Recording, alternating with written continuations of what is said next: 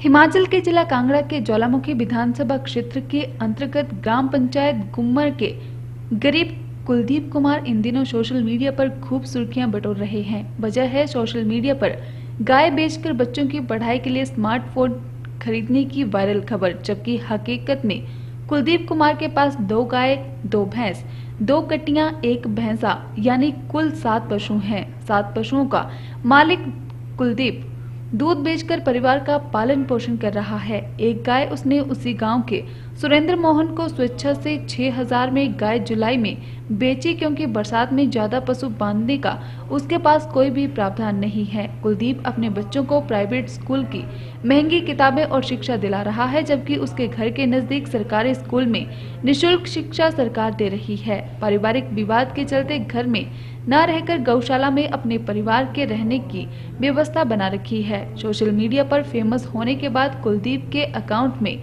हज़ारों रुपए अब तक जमा हो चुके हैं, जबकि ये तथ्यों से परे न्यूज़ सोशल मीडिया पर वायरल हुई तो स्थानीय प्रशासन ने उसकी ज़रूरी मदद के लिए घर का दौरा किया।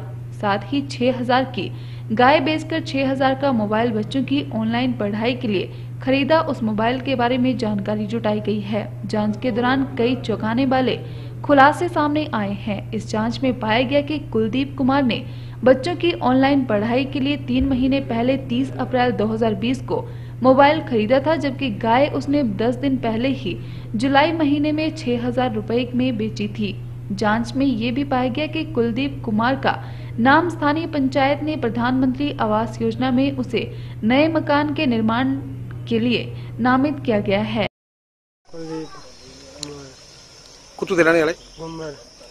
अच्छा प्रसाद जी तुम अपने गाय बेची के मोबाइल लिया। हम्म। प्रशासन अज थे द्वार आया था तो उन्होंने बोलिया हाँ तुम जो गाय लेके दें तो प्रशासन ने क्या मांग की मांग मैं मकान की मांग की है। ये मकान डाल दिए अच्छा, गाय अच्छा गा देने वास्ते बोले तो क्या बोले हम गा मेरे पास दो गाय हैं इसलिए मुझे गाय की इतनी लोड नहीं। आपके कितने बच्चे हैं जी? हमारे दो बच्चे हैं। किस स्कूल में पढ़ते हैं? एल्पाइन स्कूल सुक्का बाग में। थैंक यू जो प्रशासन तहसीलदार महोदय और एसडीएम के आदेश के अनुसार सुप्रीडेंट साहब यहाँ पे आए हुए थे तो वहाँ से प्रशासन के आदेश है कि इसको आदमी को गाय जो वापस दिलाई जाए जाए तो इसने बिल्कुल ही साफ़ मना कर दिया कि मैं गाय नहीं रख सकता हूँ। प्रशासन ने हर प्रयास किया पर इसने बिल्कुल ही मना कर दिया। इसके पास पहले से ही और इसके पास पहले से ही बहुत सारे पशु हैं और इसके पास बांधने के लिए वैसे भी जगह नहीं है। और इनका पुश्तैनी जो पुराना मकान है उसके दो कमरे हैं। एक में इसका भाई रहता है वो भी बीपीएल में है और एक कमरे में ये रह सकता है। पर इसके बावजूद भी ये जो पशुशाला में रह रहा है अब ये हमारी समझ से परे है। जिला कांगड़ा उपायुक्त राकेश प्रजापति ने जब इस बारे बात की तो उन्होंने बताया कि जो भी खबर चलाई जा रही है, वह तथ्यों से बहुत दूर है। उन्होंने बताया कि उपमंडल ज्वालामुखी के एसडीएम और तहसीलदार इस परिवार के बारे में पूरी तहकीकात कर चुके हैं। उन्होंने बताया कि ये परिवार जहाँ रह रहा है, अपनी मर्ज़ी से रह रहा है। उन्होंने बताया कि रही बात मोबाइल खरीदने की तो मोबाइल ऑन रिकॉर्ड अप्रैल महीने खरीदा गया है। राकेश प्रजापति ने बताया कि गाय 6000 में बेची गई है। गाय कभी भी 6000 में नहीं, बल्कि 25 से तीस हज़ार के बीच उसकी कीमत होती है। उन्होंने बताया कि गाय को बेचने के पीछे मंशा अलग ही थी। उपायुक्त ने कहा कि प्रशासन की तरफ़ से पेशकश भी की गई। जो गाय बेची हुई है, उसको खरीदकर उस परिवार को वापस देते हैं, क्योंकि गाय को बेचने के पीछे कारण कोई और था।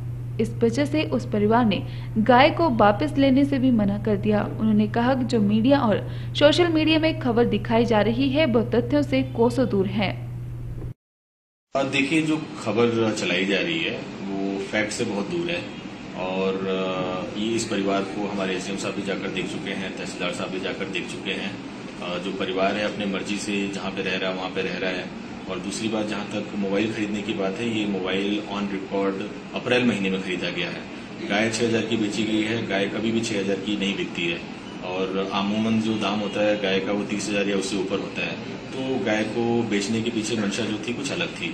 और जहाँ तक प्रशासन की बात रही, प्रशासन की तरफ़ से हमने ये पेशकश भी की कि हम जो गाय बेची हुई है, उसको हम खरीद कर वापस इस इंसान को दे देते हैं। लेकिन चूँकि गाय को बेचने के पीछे कारण कुछ अलग था, इस वजह से उन्होंने गाय को लेने से भी इनकार कर दिया। तो सच्चाई जो है, उसके अनुरूप जो मीडिया में, सोशल मीडिया में जो न्यूज़ वायरल हो रही है, उस अनुरूप नहीं है। Thank you sir